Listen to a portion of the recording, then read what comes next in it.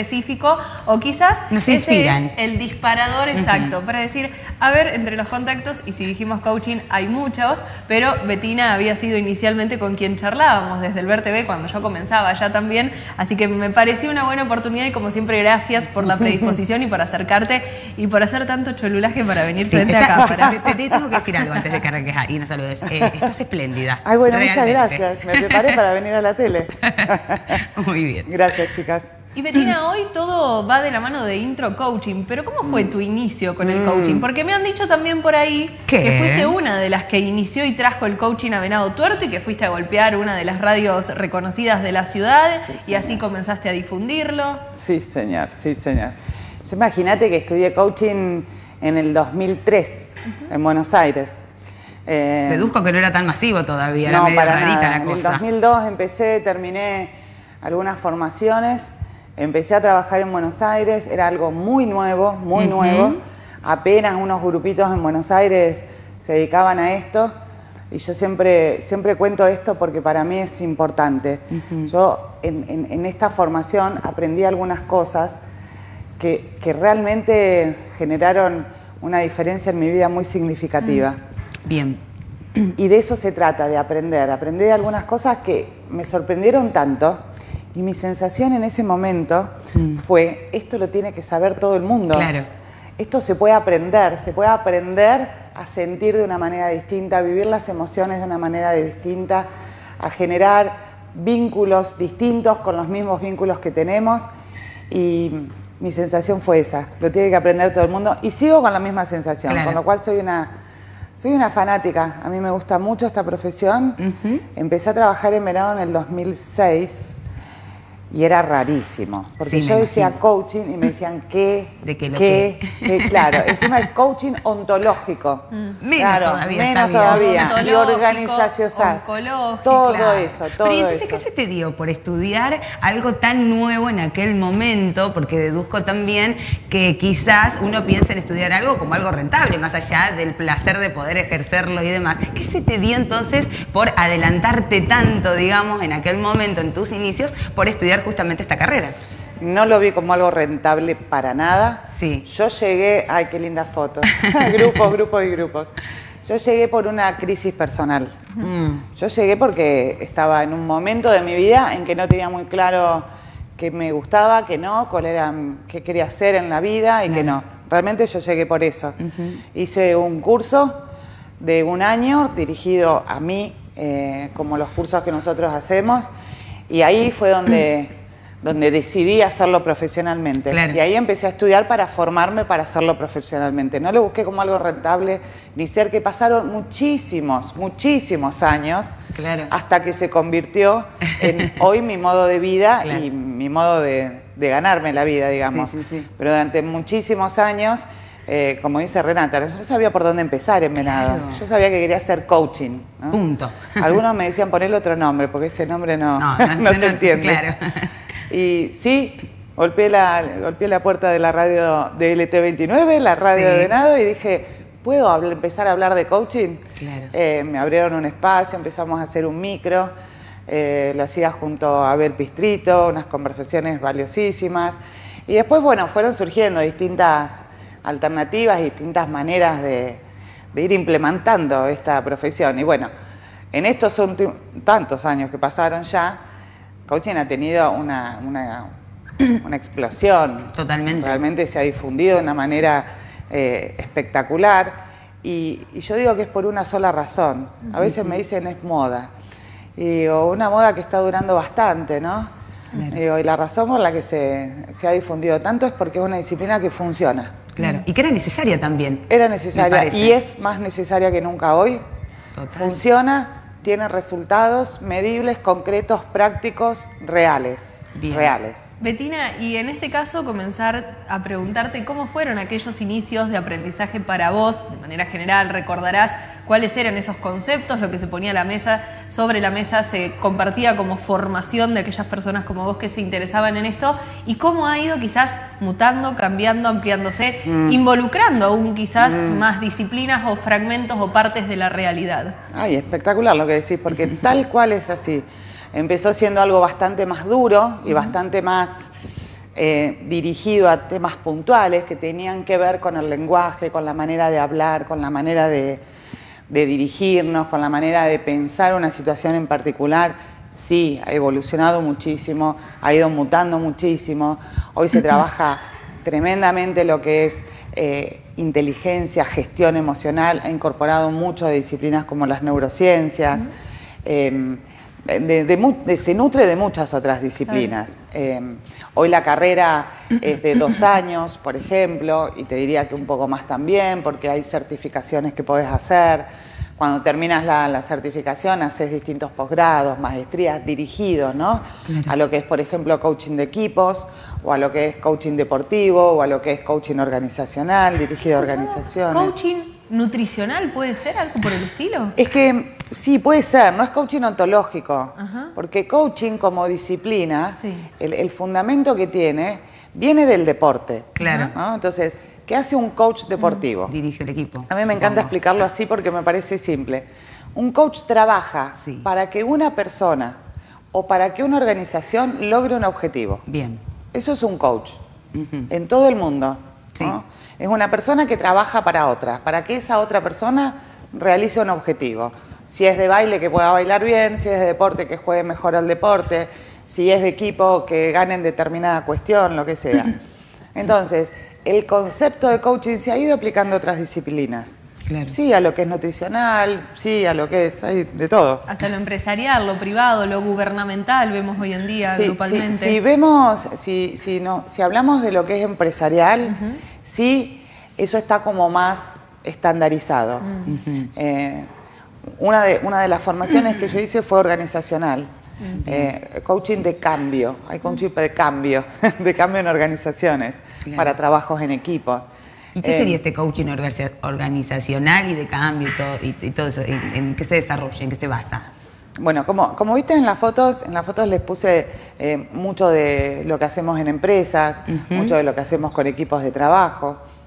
Trabajamos, cuando, cuando en, en organizaciones, trabajamos con las personas, con las personas dentro de la organización. Y las personas son personas. Total, justamente, qué complejo. son personas. Entonces, bueno, Ahí es donde viene la parte que a nosotros nos gusta tanto, ¿no?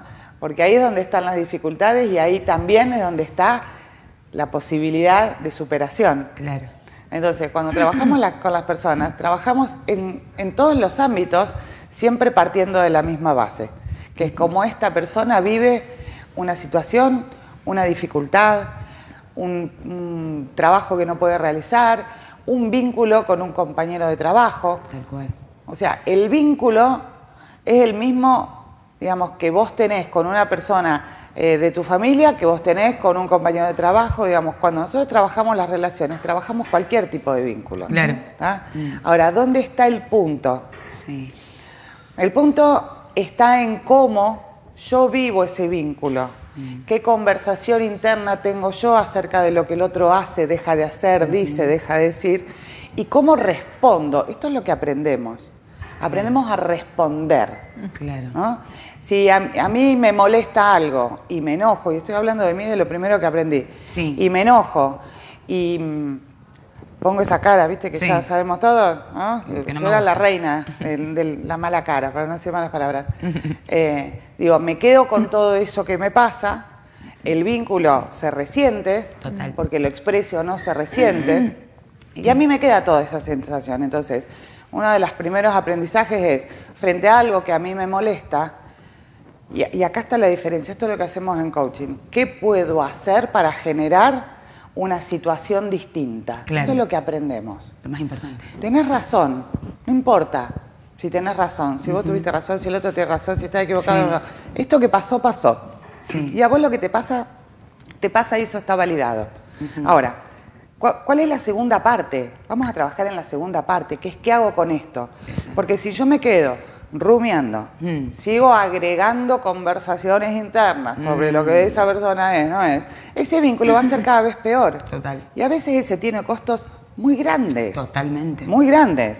No solamente en tu estado de ánimo, en la manera en la que vos cuando terminas de llegar, trabajas, terminas de trabajar, llegas a tu casa en lo que haces a continuación, sino en tu desempeño. Total, Hoy sabemos cómo eso afecta a tu manera de pensar, tu capacidad de tomar elecciones, opciones. Y como hoy vivimos situaciones que son muy exigentes y muy cambiantes, necesitamos cada vez más aprender a desarrollar una cierta flexibilidad. Por eso trabajamos tanto en empresas. Claro. Porque en la empresa es tan concreto. Un equipo que no puede conversar es un equipo que no tiene buen rendimiento. Totalmente. Y son personas que les están pasando cosas que no saben cómo vivirlas de otra manera. Claro. Entonces, siempre lo que hacemos en coaching son procesos de aprendizaje. Betina, y en este caso, si bien podemos entrever según lo que nos vas contando, pero vale repreguntarlo, ¿de qué manera desde el coaching se mira y se tiene la concepción de- del ser humano? A ver, un médico va, lo va a tener desde la célula, el órgano, etcétera, etcétera. ¿Desde coaching? Esa es una de las cosas que, que me gustó desde un principio y me sigue gustando. El concepto es que nosotros somos responsables de lo que hacemos y de lo que vamos creando en nuestra vida. No somos responsables de lo que pasa, pero sí somos responsables de cómo respondemos a lo que pasa. Entonces, tiene parte de una base donde cree en el ser humano, cree en su capacidad de evolución, de, de ampliación y sobre todo de crear distintos, distintas realidades con las realidades que vamos viviendo. Claro. O sea, el concepto es eh, que realmente somos, somos seres que estamos en continua construcción de quienes estamos siendo. Claro. Eso es todo un aprendizaje. Nada- nada porque sencillo. Para eso necesitamos soltar algunas ideas de quiénes somos. Romper Claro. estructuras de Sí. quiénes somos y de cómo miramos Sí. aquello que también Sí. habla de nosotros. Y después de esto, la flexibilidad de decir, bueno, sí, tengo Sí. esta postura, pero tengo que aceptar lo demás. Claro. O, o no, o no. Si querés no lo aceptás. Claro. Ahora, si no lo aceptás, te quedás en esa misma situación. Claro. Y probablemente, o casi seguramente, el más perjudicado sos vos mismo. Total. Sí, Entonces, exacto. si lo que querés es, por ejemplo, en este caso que estábamos explicando, vivir mejor tu trabajo de todos los días, y hay una, una situación ahí que necesitas darle una vuelta. Totalmente. Porque lo otro te deja parado en un punto. Esto es lo que limita hoy a muchas empresas a crecer y es lo que posibilita que muchas empresas hoy estén dando saltos de crecimiento más grandes. Claro. El capital más grande que tiene, que es el capital humano. Totalmente. Sí, claro. Entonces, Sí, sí. la elección es de cada uno. Nosotros en coaching, perdón Renata, nosotros en coaching trabajamos con personas que quieren lograr cosas que hoy no están logrando. Claro. Yo soy lo primero que digo. Claro, Sí, van y- para y- adelante. Y visibilizar y decir, bueno, es esto, es esto lo que hay, punto. Y en base a eso poder trabajarlo de la manera positiva. Sí, claro, es más o menos así. Tenés estas cartas. ¿Cómo, cómo hacemos? ¿Cómo jugamos? claro. Betina, y en este caso, entre los diferentes acompañamientos, intervenciones que ustedes realizan desde Intro Coaching, que sabemos que sos coordinadora, pero desde ya tendrás tu grupo de trabajo, y me Sí. acuerdo a una de ellas que siempre nos recibía, no me acuerdo el nombre. Claudia. Claudia. Claudia. está en muchas fotos. Así que le mandamos un cariño a Claudia que siempre nos recepcionaba en Intro Coaching tan cálidamente como Sí, es ese lugar también sí. que tiene tanta frescura, tanto...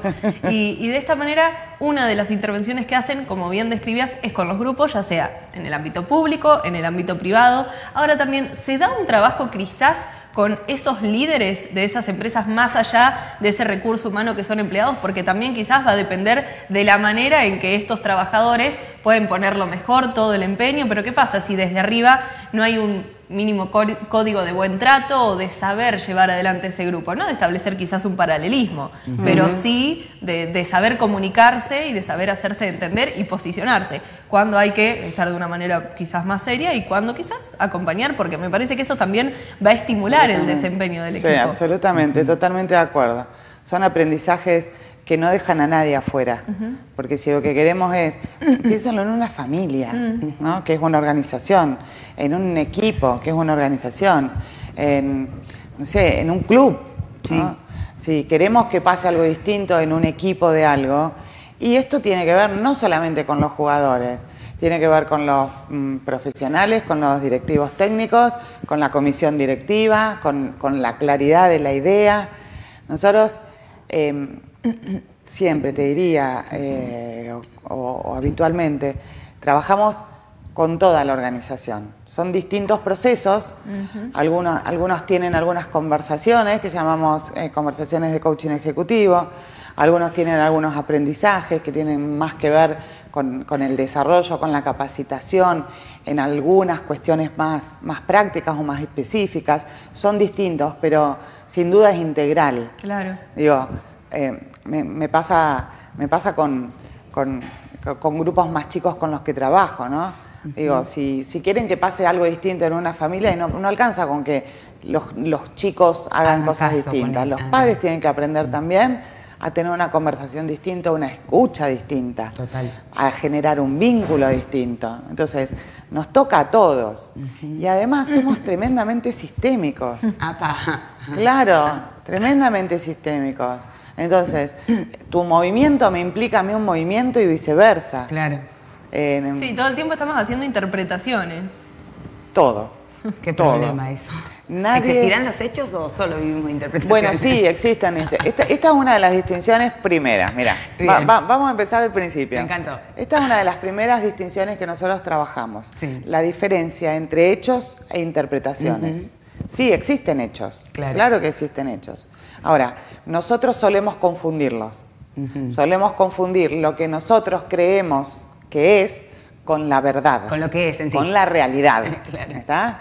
Sí, y sí, los hechos son los menos. Son aquellas cuestiones comprobables, Sí. medibles, Total. eh, que tienen una evidencia. O sea que sería la carga de la interpretación a lo que yo eh, creo que sucedió del hecho en sí. En donde podría venir el problema, ponerle la interpretación, en un- me imagino, en una empresa, en un trabajo grupal eh, y, y en- entre vínculos entre compañeros. La interpretación Sí, no es solamente un problema, la interpretación es lo que dispara todo en nosotros. Nosotros no podemos hablar de nada sí. si no es a través de la interpretación que tenemos sobre eso. Mm. Ahora, eso puede ser un problema, como te está sonando, o puede ser la llave. Exacto. Puede ser la posibilidad que tenés Claro. de vivir distintas realidades. Simple. Si vos te vas de acá a tu casa Sí, y vas mirando eh, los autos mal estacionados, vas mirando el pozo que hay, vas mirando la casa que está eh, abandonada y vos vas a tener una visión de la ciudad, de tu recorrido, que va a ser una. Sí. ¿Es verdad? Sí, es verdad, pero no es toda la verdad. Claro. Es la única. Es una parte. Si vos vas de acá a tu casa y vas mirando los árboles, y vas mirando el cielo, y vas mirando la gente que está caminando bien, y estás, vas mirando eh, un auto que frena para dejarle paso a otro, y vas mirando una persona que va eh, con un bebé riéndose, Sí. vas a tener otros hechos total, que generan otra realidad, tal cual. que también es verdad. Entonces, ni una ni otra manera es correcta o incorrecta. No es que hay que ser positivo y mirar Claro. lo lindo. No. No, para nada.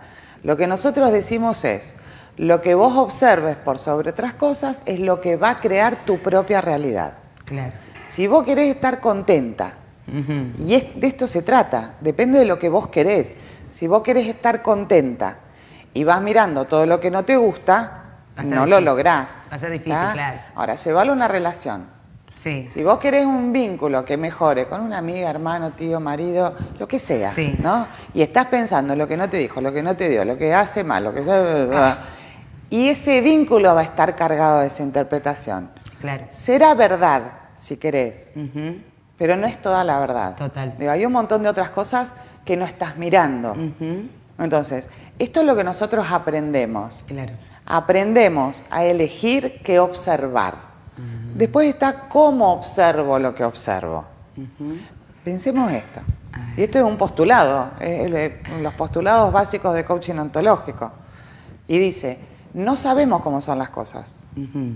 Solo sabemos cómo las observamos o cómo las interpretamos.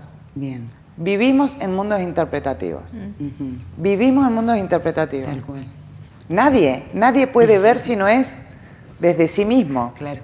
Imagínate un mundo, yo, yo hago estas cosas. Imagínate un mundo lleno de personitas. Sí. Y cada una de esas personitas mirando para un lugar. Mm, No hay nadie que no vea desde Sí. quién no es. Total. ¿verdad? Sí, Ahora, como es adentro es afuera, podríamos decir. Y ni más ni menos. Exactamente. Equivalió en regla 1. Claro. Ahora, claro, ahora, eso puede ser un problema o puede ser la posibilidad. Por eso escuchamos, no sé, personas que hacen cosas extraordinariamente fantásticas y personas que hacen cosas muy, muy horribles. Ujú, Claro. Porque se trata de eso, se trata de la potencia y la maravilla que somos los seres humanos. Claro. Y, Le- ah, perdón.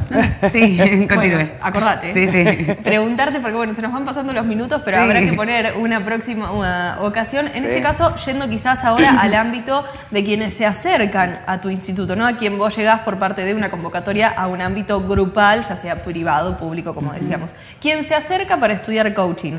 ¿Cuáles son quizás esos argumentos que manifiesta de por qué lo está haciendo? Sabemos que tiene una salida laboral, una intervención en lo laboral, pero quizás también desde lo personal. En general lo que quieren las personas que se acercan es vivir distinto. Lo que quieren es hacer cosas que no se están animando a hacer. Claro, por eso yo, eh, perdón que te interrumpa, no, la bien. pregunta tenía que ver con esto, es decir, hablaste al comienzo del coaching que eh, lo comenzaste en tus inicios también por una búsqueda personal. ¿Cómo Sí. entonces se asocia el- Sí. el- la profesión con la persona de Sí, uno mismo? Sí, sí, totalmente, totalmente. Eh, por eso te digo, yo sigo con esa sensación.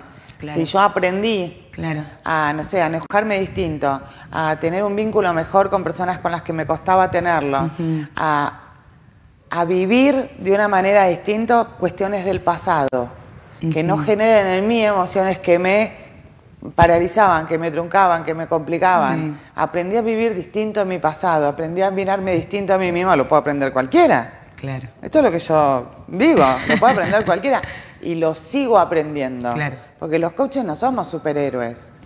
No- nos pasan las mismas cosas, metemos la pata, nos equivocamos, que quede claro. claro, nos pasan las mismas cosas que nos pasan a todos. Ahora, lo que sí vamos desarrollando es una, una cierta capacidad para resolver. Claro. Todo no. No podés resolver todo. Por supuesto que no. Ahora, que puedas vivir distinto muchas más situaciones, a lo mejor algunas no, es lo que te empieza a hacer la diferencia. Total, y eh, ya es ganancia, supongo yo. Ya es ganancia, Sí. exacto. Entonces, las personas que se acercan, en general se acercan porque hace mucho tiempo que están frustrados, Mm. que están viviendo algunas cuestiones que, que- que no los dejan bien, que no los dejan contentos, que quieren hacer cosas y no se animan, que quieren superar. O sea, ya hay- ahí ya hay un motorcito. Mm. Claro. Yo digo que mi trabajo es el mejor del mundo porque para empezar trabajamos con gente que quiere. Primero. Y yo le digo, pará, ¿eh? ¿Querés? ¿Querés? Vamos. Si no querés, no, no hace falta, ¿para qué? Exacto. ¿No? Entonces, gente que quiere. Y ahí empezamos a aprender. Claro. Aprender cómo. El coaching tiene esto. Práctico, simple, concreto, concreto, concreto. Después depende de cada uno cuánto, cuánto vaya pudiendo aplicar. Claro. Claro. Yo hablo cada vez más de entrenamientos. Mm. Realmente, porque son entrenamientos. Claro, hábitos. Sí, es Como reforzar. programarnos, como una computadora, digamos, la mente, el alma, la acción. Absolutamente. Betina, y preguntarte brevemente, porque en la seguidilla de imágenes que nos compartías y ahora también las podíamos ver al aire, veíamos incluso más allá de, de esas fotos estáticas, ustedes haciendo. Bueno, que nos cuentes cuáles son esos ejercicios que se van viendo. Y me llama la atención esto, ¿en qué momento, en qué contextos, por qué, cómo se dio la intervención con los más pequeños, niños, preadolescentes, adolescentes? Recrea fue, eso, eso que ves ahí de Recrea Sí. fue un, un curso que yo hice en la época de la pandemia, que la hice de manera virtual, Mira. porque no estaba pudiendo hacer coaching y estaba medio desesperada. Este, y fue hermosísimo, hermosísimo. Sí, fue un, un curso muy lindo. Ese dedicado a mujeres. Me gusta Mira. mucho trabajar con mujeres. De hecho, ahora estamos haciendo varias cosas que tienen que ver con mujeres. ¿Y qué con serían esas cosas que tienen que ver con las mujeres? ¿Qué estuviste ahí? La inserción a, un, a un espacio laboral, la inclusión, estamos trabajando mucho, en, en algunas empresas también, por suerte. Esto es un trabajo en empresas, creo que es Nidera o Singenta, eh, que trabajamos con un grupo específico que querían hacer algo específico. Claro. Bueno, este es mi Me centro, encanta. es Intro Coaching, sí, yo también lo adoro. Paso todos los días por ahí. Me encanta, Ahora bueno, caigo. ahí está. Eh, esto es un ejercicio que estamos haciendo con alumnos de la formación. Ajá. Eh, son ejercicios que nos muestran mucho, los ejercicios, las dinámicas son, son maravillosas porque nos muestran mucho, nos ponen en acción. Sí. Eh, cuando nosotros jugamos, el- el- la cabeza no sabe que estamos jugando. Claro. El cerebro no se da cuenta. Sí. Nosotros jugamos como actuamos, como somos. Entonces nos vemos en acción. Y cuando nos vemos, eso nos da la posibilidad Claro. de vernos más concretamente Sí. y poder reflexionar y aprender a hacer de otra cosa. Total. Y los, eh, ca- cada vez me gusta más trabajar de manera más dinámica y más activa, porque son aprendizajes que realmente se incorporan. Claro. Total. Te van quedando como grabados. Decís, Sí. Ah, mira cómo me puse, estaría bueno que pueda hacerlo así. Totalmente. Eh, este es un grupo de maestras que hicimos, trabajamos un año, muy, muy, muy lindo. Maestras que querían generar una manera de, por ejemplo, de, de convivir y de trabajar ellas, entre ellas juntas. Mira. Sí, hermoso, hermoso. Qué linda iniciativa. Hermoso, impulso. hermoso. Por eso te digo, es, es lo más lindo que puede haber. Y usamos, usamos algunos juegos y algunas dinámicas que generalmente son simples y que tienen que ver con esto, ¿no? Con, con el impacto que esto tiene en mi manera de ser, de sentir. Y la memoria que después tiene el cuerpo, que quizás Sí. de manera inconsciente se te da una Sí. situación en donde reaccionabas y capaz que uno mismo dice, ah, no, pero qué horrible, es cierto. Y como que lo podés eh, visibilizar de una manera consciente. Sí, sí, es- es- eh, sí, claramente. Grupos, grupos, grupos. A mí me gusta mucho trabajar en grupo. Claro. Prefiero trabajar en grupo que en individual. El aprendizaje es exponencial. Y una de las primeras cosas que trabajamos es, esto creo que fue hace poquitito, em, sí, hace poquito, en el verano. Eh, una de las primeras cosas que nosotros podemos ver trabajando en equipo, esto en el medio de una obra, trabajando con Mira. gente de empresas. No, no, no, no está nadie exento. Total. Esto es una de las cosas que, que me gusta. Em, ¿qué estaba? me olvidé que estaba diciendo. De cómo se daba el trabajo y que preferís cada vez elegir más El juego por cómo habla con esta transparencia y de que quizás se graba más ese aprendizaje que si lo decís en palabra, que si tal vez lo dejás plasmado por escrito, sino Sí. siendo protagonista. Eso, eso también tiene que ver con un proceso personal, que tiene que ver con ir, esto también hace poco, una charla que hicimos en el museo, hermosa, hermosa. A mí me gusta mucho hablar de coaching y de las disciplinas, pero estoy aprendiendo que más que capacitadora quiero ser cada vez más facilitadora de procesos, donde la protagonista no sea yo, sino que sea la persona que viene a buscar algo. Y cuando estás al frente hablando y hablando y hablando, eh, hay, hay mucho de beneficio personal. Mira. Entonces, entiendo el servicio desde el, el- el- el bajar tu beneficio personal y realmente estar al servicio del otro. Claro. Entonces, cada vez más el protagonista es el otro. Mira vos. Sí, cada vez más. Y supongo que debe ser in- eh, incalculable, o sea, la recompensa que sentís cuando ves los frutos, ¿no? Que a través de eh, el coaching se pudo llegar al objetivo y, eh, o sea, supongo que Este es el cierre de un evento que hicimos el año pasado con coaches, alumnos. Eh, la formación de coaching yo lo trabajo, bueno, un equipo en una empresa trabajando. Yo lo trabajo con, con un instituto de Rosario, con ITC. Somos eh, ITC C Venado Tuerto, otro, otro grupo trabajando y festejando después de trabajar. totalmente. Siempre hay un... Es que se genera un lugar de encuentro eh, muy, muy lindo. Esto tiene que ver con lo que vos me decías, Rena, de, de los, los chicos, jóvenes. de los jóvenes. Esto es a través de... em, bueno, esto con mujeres, trabajando también con mujeres su autoestima, en Imagina, en, el- en un grupo de mujeres que me pidieron que, que vaya a trabajar. Eh, Con el espacio de los chicos habíamos quedado, que con estaba el aquí espacio más de preguntado Rena. Eso está dentro de un, de un programa eh, que colaboro con la municipalidad, donde el desafío fue trabajar con juventudes. Ah, mira, qué interesante. Sí, súper, súper, súper. Bueno, esto es un intensivo, un fogón, que también tiene actividades. Me encantó eso. Muy- sí, Sí. es alucinante. E- Ese es, lo tenemos ahora en el invierno, eh, donde diseñamos una serie de, de temáticas para completar y demás, pensando en los chicos. Fue muy lindo, fue Mm. muy lindo, chicos de secundaria, para, para escucharlos, ¿no? Para escuchar su mirada, para escuchar... ¿Ese era el objetivo? Sí, Claro. exactamente, escuchar cómo ellos miraban la ciudad, qué veían ellos en la ciudad. Entonces, siempre lo pensamos, digo, bueno, ¿cuál es la mejor manera de generar un espacio para que el otro se pueda expresar? Claro. Ah, para el plan estratégico participativo. ¿puede Eso fue ser? una actividad parte del plan estratégico, sí, exactamente. que lo impulsa el gobierno de Venado Tuerto, el famoso PEP. En este caso, bueno, nos vamos acercando al momento de despedida, Ay, sí. pero bueno, nos llegaban algunos mensajes. Si es posible, por favor, dejar tu número de contacto, el lugar donde estás, redes sociales, donde puedan obtener más información, interiorizarse, saber de Sí. qué manera acceder a esto para de forma grupal, ya sea que lo esté proponiendo el titular, gerente, o que desde abajo esto surja también. Y por supuesto, para quienes deseen acercarse de forma individual y empezar a ser parte de los grupos en el espacio de Intro Coaching. Sí, señor. Yo sugiero que antes se comuniquen por teléfono, porque pueden que eh, o no estemos, o estemos trabajando y que no los podamos atender. cuando, cuando estamos con equipos no los podemos atender, así Claro. que lo más fácil es mi teléfono, que es 60 23 21. Bien. Bien. 60 23 21. Sí, y te quiero contestar algo que se me había ido, Sí. que es, más que una recompensa, Sí. es tremendamente gratificante.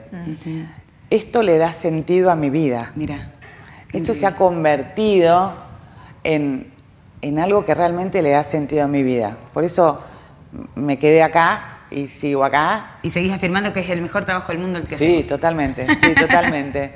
Claro, porque en, en cada intervención yo trabajo conmigo, en cada grupo yo aprendo, en, en cada situación es una situación de crecimiento personal que no termina. Hoy me reencontré con un grupo que hace un buen tiempo que no trabajaba y me dijeron, "Uy, ¿no terminamos?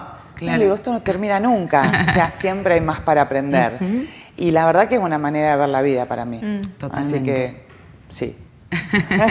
Trabajás ayudando y trabajás en ese instante también para, para vos mismas. Para vos misma. Decía, Sí. siempre hay más por aprender y siempre hay más por charlar, si bien como Total. decimos, cualquier ámbito profesional, cualquier charla que nosotros traemos acá, es un fragmento, es algo superficial, si bien hemos creo que podido profundizar, consultar Mm. ampliamente y no tuvimos una clase de coaching, como siempre lo decimos, porque no tenemos una clase de nutrición, una consulta mano a mano, pero intentamos acercar o al menos hacer conocer diferentes aspectos dentro de la realidad y ojalá ustedes tomen la iniciativa de poder sumergirse aún más en este mundo. Gracias, nuevamente nos tenemos que ir despidiendo nos y lo vamos a hacer con. Betina también. Por supuesto que sí. eh,